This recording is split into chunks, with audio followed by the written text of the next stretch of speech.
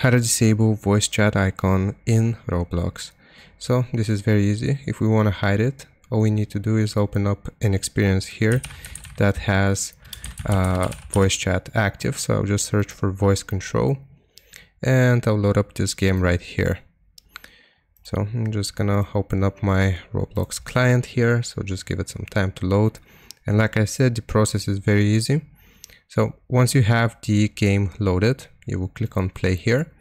and I'll just show you, as you can see, I have the mic icon as well as the uh, camera icon above my head.